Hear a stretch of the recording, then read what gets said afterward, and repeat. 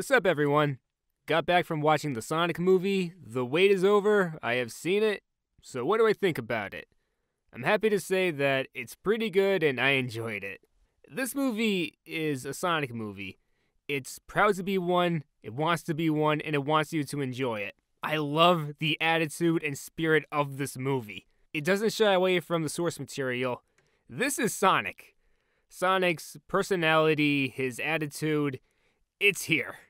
For an entry movie, this does its job pretty well. Introducing you to Sonic, what he's about, what he can do, and his effect on other people, especially, you know, Eggman, Robotnik. And I love the performances of Ben Schwartz and Jim Carrey in this movie. Ben knocks it out of the park as Sonic. He can be funny, he can be emotional, he can be heroic. Ben is a perfect Sonic. He really is. And Jim Carrey as the egotistical, showboaty Robotnik. Like every time he talks to someone, he acts like he's talking down to them. I have achieved more than you ever will. He does that to everyone he meets. Like, deep down, he's crying. And uh, Jim Carrey said that in an interview once with the movie. Uh, I think it was a panel. A little girl was asking him, Why is Robotnik so angry? And he's going, Well, he's lonely. He tries to possess everything. And uh, you can see a bit of that in the movie when he's always yelling at people like he's hiding something. And Jim Carrey nailed it. I want to see more of him as Eggman. I love the lighting and the colors in this movie, especially when Sonic and Eggman are going at it. You see a red streak chasing a blue streak. And you know what that is. The way the lighting is used to signify the contrast between Sonic and Eggman. You know, Sonic with this blue surge of energy, and Eggman with the red jet fuel coming from his Eggmobile and uh, the red off his goggles. Like there's a part in the movie where he's look where the reflection of Sonic is bouncing off the reflection on his goggles, and it looks good. This movie is colorful and pleasing to the eye. The supporting characters are, well, uh, they're not bad. It's just that you know hit and miss. I liked James Marsden as Tom, aka Donut Lord, Sonic's nickname for him.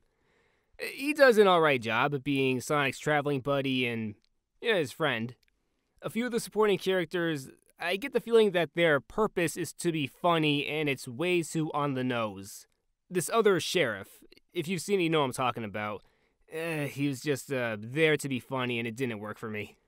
I'm not getting into any spoilers. Uh, there is stuff in here that does make Sonic emotional, which I've wanted to see in the games for a long time. Speaking of, this movie delivers on what the games have been lacking Sonic interacting with humans, Sonic being emotional. And I missed Sonic being in real life locations. You got him in San Francisco. You got him in the desert, in the Great Wall of China. We haven't seen stuff like that since Unleashed, and I miss it. I miss Sonic in real life locations. There are references, which is expected.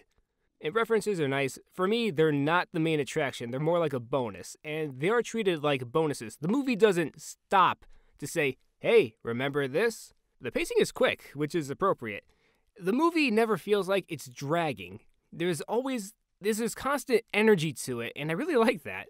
The movie never lost me. I don't know what effect this will have on the franchise.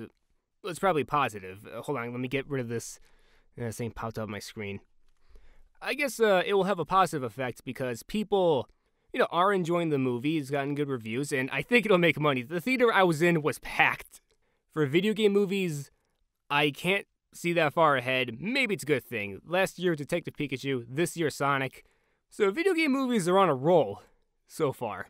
Oh, and uh, when I was watching it, there were these little kids sitting right next to me, and the part where Jim Carrey is dancing, this kid was raving right next to me. He was moving his arms like up and down, and like he was having time. He was having the time of his life with this.